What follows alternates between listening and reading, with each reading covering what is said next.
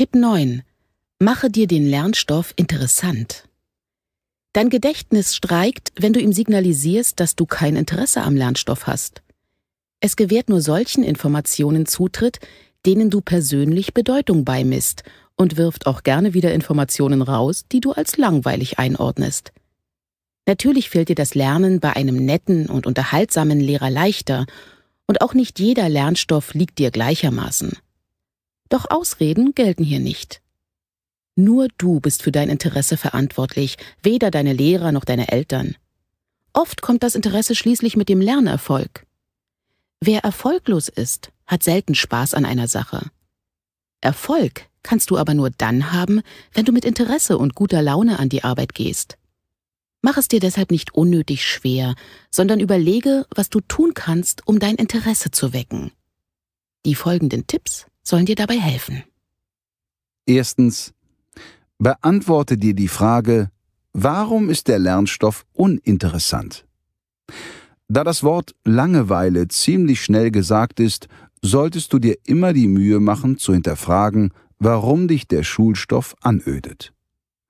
Selbst wenn du keinen Gefallen an der Geschichte in Deutsch, der Rechenaufgabe in Mathe oder dem aktuellen Thema in Sachkunde findest, sollte dich aber immer interessieren, warum dies so ist.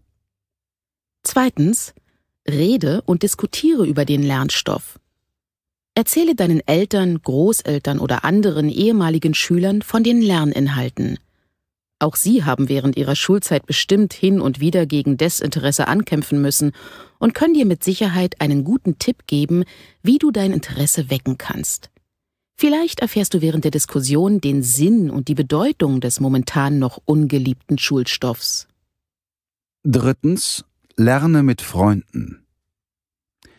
Wie du bereits beim Tipp 7 erfahren hast, ist das gegenseitige Erklären des Lernstoffs eine sehr gute Strategie, um Lernstoff zu verstehen und zu behalten.